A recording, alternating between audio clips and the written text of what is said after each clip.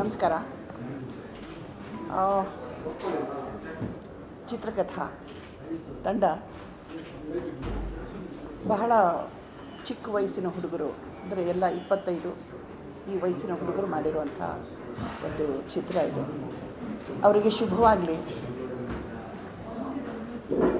ಅಂತ ನಾನು ಹಾರೈಸ್ತೀನಿ. ದಯವಿಟ್ಟು ಅವರ ಚಿತ್ರನ ನೋಡಿ, ಅವರನ್ನು ಬೆನ್ನು ತಟ್ಟಿ.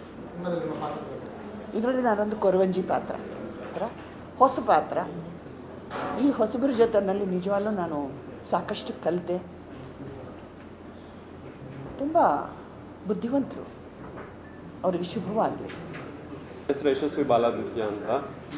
ಇದು ನನ್ನ ಚಿತ್ರಕಥಾ ಬಂದು ನನ್ನ ಮೊದಲನೇ ಸಿನಿಮಾ. ಈ ಸಿನಿಮಾದಲ್ಲಿ ಸುಧಾರಾಣಿಯವರು ಬ- ಜ ಬಿ ಜೆ ಶ್ರೀಯಮ್ಮ ಅವರು ಮತ್ತು ತಬ್ಲಾನಾಣಿಯವರು ಹಾಗೂ ದಿಲೀಪ್ ರಾಜ್ ಅವರು ಅನುಷಾರ ಅವರು ಇಷ್ಟು ಜನ ವರ್ಕ್ ಮಾಡಿದ್ದಾರೆ.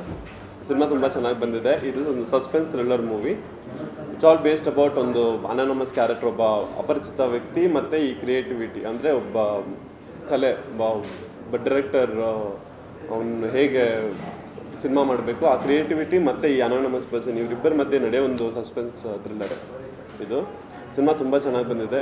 ದಯವಿಟ್ಟು ಎಲ್ಲರೂ ರಿಕ್ವೆಸ್ಟ್ ಮಾಡ್ಕೊತೀನಿ.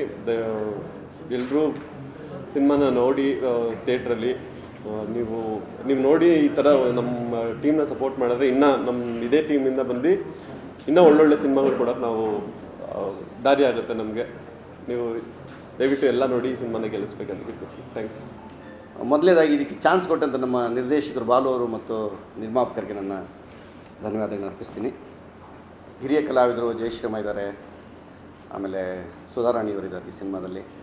ಇಡೀ ತಂಡಕ್ಕೆ ಒಳ್ಳೆಯದಾಗಬೇಕು ಯಾರ್ಯಾರು ಇದರಲ್ಲಿ ಪಾತ್ರ ಮಾಡಿದ್ದಾರೆ, ಎಲ್ಲ ಕಲಾವಿದರಿಗೆ ಟೆಕ್ನಿಷಿಯನ್ಸ್ಗೆ ಮತ್ತು ಡೈರೆಕ್ಷನ್ ಟೀಮ್ ಮೇಯ್ನ್ ಯಾಕೆಂದರೆ ನಾವೆಲ್ಲ ಬಂದು ಒಂದಿನ, ಎರಡು ದಿನಕ್ಕೆ ಪಾತ್ರ ಮಾಡಿ ಹೊರಟೋಗ್ತೀವಿ.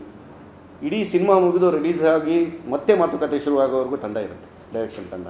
ಅವ್ರಿಗೆಲ್ರಿಗೂ ಒಳ್ಳೆಯದಾಗಲಿ ಎಲ್ರಿಗೂ ನಮಸ್ಕಾರ. ಆ, ಸಿನಿಮಾ, ಯಾ, ಸಿನಿಮಾ ನೋಡಿದ್ದೀವಿ ತುಂಬ ಚೆನ್ನಾಗಿ ಬಂದಿದೆ. ಆ್ಯಂಡ್ ಇಟ್ಸ್ ತುಂಬ ಥ್ರಿಲ್ಲಿಂಗ್ ಆಗಿದೆ ಸಿನಿಮಾ.